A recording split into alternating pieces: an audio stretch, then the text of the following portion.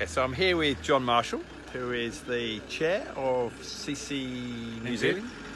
Um, Jon, tell us a little bit about uh, what we've been doing the last two or three days. Yeah, sure. So uh, we've had a group here at our regional at Queenstown, um, about uh, 60 or 70 of us, some young people and some old people and some people in between. And it's been a great time of fellowship and sharing. And we've had Mark and his family here with us, and um, they're lots of fun. And also, we're really excited to have Mike uh, heading up CCI International. And how long have you been involved with Christian camping in New Zealand? Um, so all my life, really, I was a camper. Obviously, as a young kid, and went to family camp and different church camps with uh, with my folks and with friends uh, through my teenage years.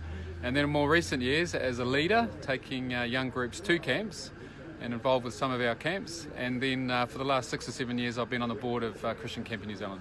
Well, listen, it's been an absolute joy to get to know you over these last few days. And we look forward to working with you and to sharing adventures and stories and this ministry together. Yeah, absolutely, especially in Iceland. Thank you.